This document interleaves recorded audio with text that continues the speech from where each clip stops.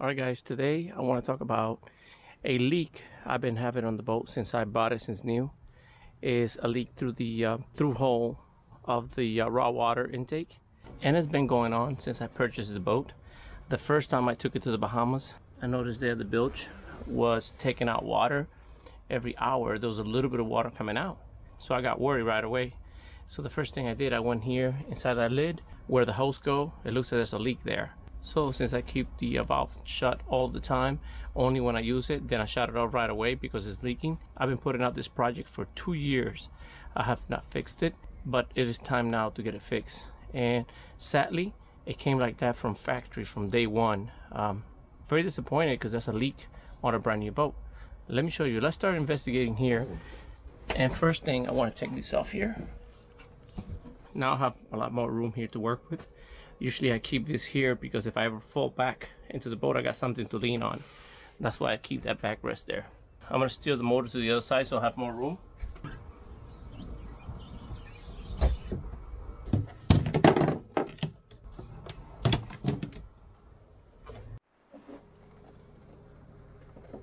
At first I thought that was that, that connector there, the problem, but it looks like it wasn't the connector.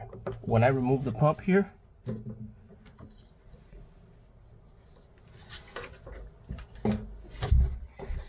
Look at this. You see that piece of rubber right here? When they installed this at the factory, this piece of rubber is too forward, this piece. So it's not letting that seal there seal pretty good.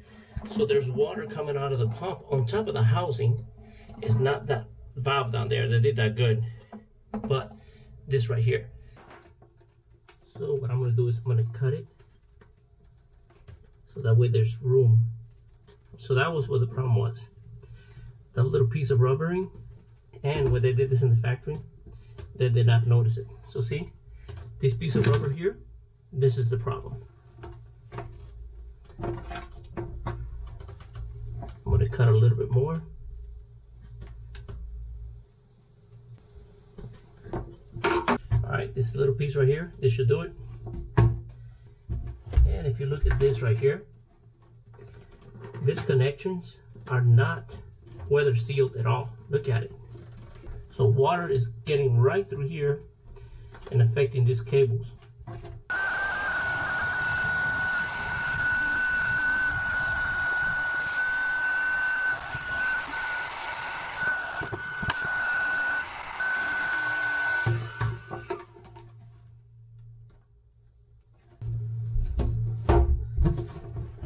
Put a little bit of grease around this gasket here.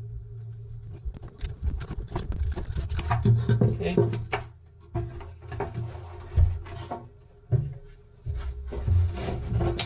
Now screw back on. Alright, that's done. So now, when I open this level here, no water should come out of the pump. So that's going to be perfect. Now this connection here is shrink wrapped.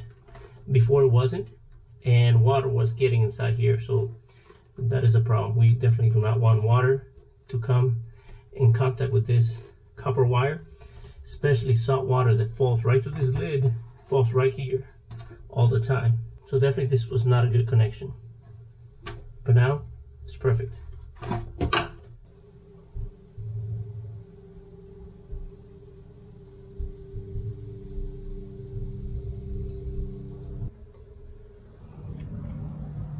Alright, so that was an easy fix. It's an easy mistake by the factory, putting the hose all the way in, not letting the seal of the uh, pump touch in contact with the casing. It's an easy mistake, um, but it's a mistake that it could have sunk a boat. So very important that I get this done now, even though I always have the valve closed. Um, like I said, when I was in the Bahamas, that freaked me out a little bit, and there was water coming inside the bilge, and the shrink wrapped on those connections were not heated uh, to make a complete seal. So I was very disappointed that they didn't heat those shrink wraps and made a complete seal.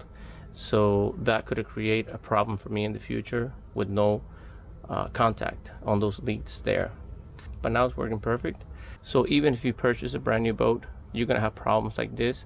Manufacturers are working fast and they're connecting hoses and sometimes they don't notice and they leave a little piece of rubber like they did in this case and you have a leak on your bilge very unfortunate uh, thing to have on a brand new boat and it's been two years uh, with this leak. But finally I got onto it. People told me go to the dealer and have them take care of it. But you know what that causes? Two days one day to take the boat leave it there. Maybe they'll fix it in a couple of days. Then going again picking up the boat. Is such a hassle to go to the dealer which is almost two hours away that doing it myself here it only took me less than 30 minutes to get this done and get it done properly which is important.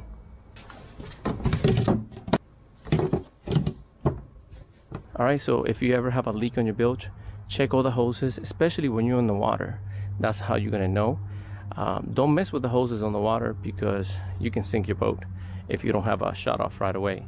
So the best thing to do is look where the leak is coming go to dry land and fix it on dry land now when I get back on the water I'll make sure that everything is working properly which is almost 99% that everything is going to be working properly. There's not going to be no leaks. All right if you found this video helpful how to resolve a small leak on your bilge that could sink your boat uh, please give it a thumbs up.